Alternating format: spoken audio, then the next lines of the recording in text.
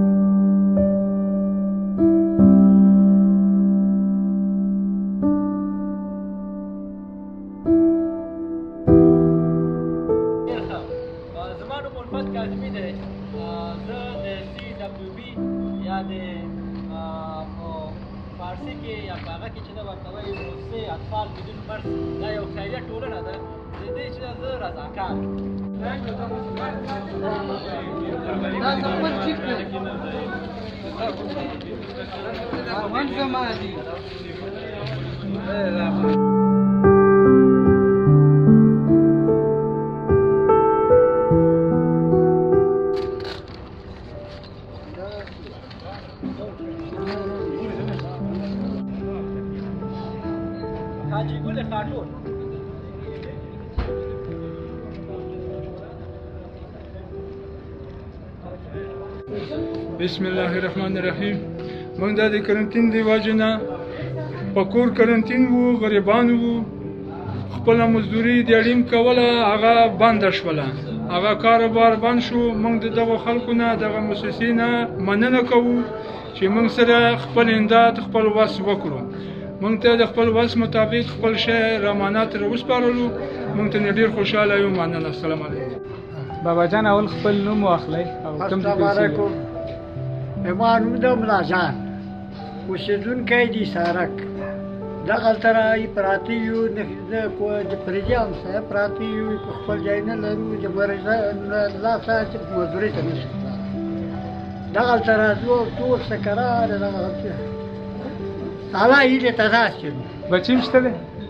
پدل د خدای د لس کسه کورې ما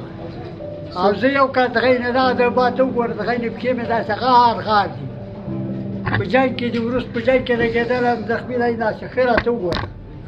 پوه شوې او چې دا موږ سره څوک کومک ونه کوي د مرض لپاره د هغه لپاره خدای دې هغه سره ډېر ښه وکړي روژه کې ستاسو حالات څنګه وو حالات له کوره وتلي دي وریځې را دي سي اوس ته ما ګورې ما کور په دېږي کې به سپینې وریځې او هغه پراته دا ګندنه به پرته وي په هغې باندې موږ وخت تېرو خلکو ته څه پیغام لرئ موږ دا پیغام ورته لرو چې خدای